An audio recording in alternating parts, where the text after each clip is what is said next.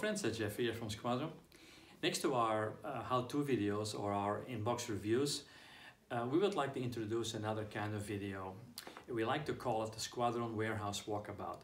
Now I seem to remember I already explained a little bit in a previous clip what it's all about, but what it really entails is that I'm going to take you on a little trip through our building here and whatever we encounter, model related, we're going to talk about it. Maybe there are things that you were not aware of, maybe there are things you would like to know. We can even talk about a department or even a person.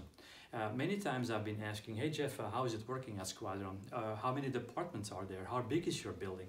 So maybe with these little warehouse walkabouts, I can shed some light on some questions you were, might not be aware of or you would like to know. So follow me, let's go to the warehouse, let's go to the trumpeter aisle and let's look at some trumpeter treasures.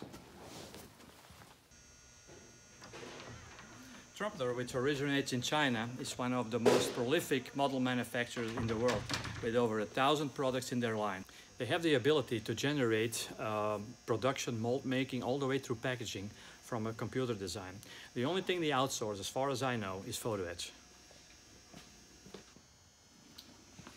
So here we are, as you can see, this is our main aisle of, the, of trumpeter kits. Uh, you can tell there is already uh, a big variety of kits. We have uh, armor, airplane, ships, and this is only the tip of the iceberg. There's a lot more in the back as we go on.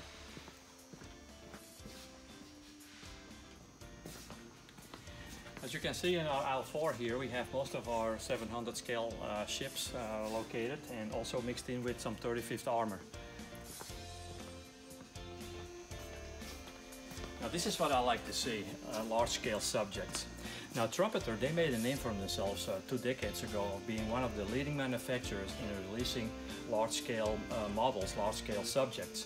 They also uh, were very um, groundbreaking in tackle subjects that nobody else wanted to do because of the expense. And as you might be aware, uh, uh, plastic injection, especially plastic injection mold making, is very expensive.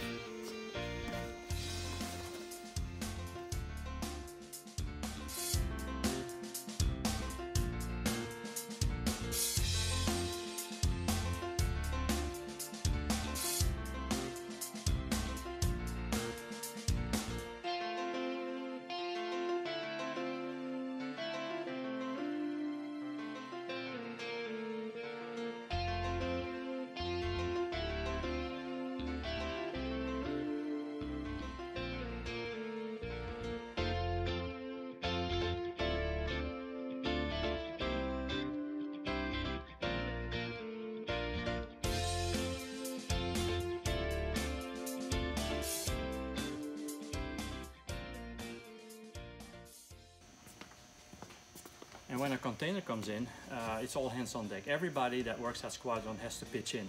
Either you work in, uh, you have a managing job or you work in, uh, in marketing department, sales department, production department. It's all the same. We all uh, roll up our sleeves and help unload the container and also uh, open the boxes and stock the shelves. Uh, as a matter of fact, I better get going. so give me a, I'll be back in a couple of minutes.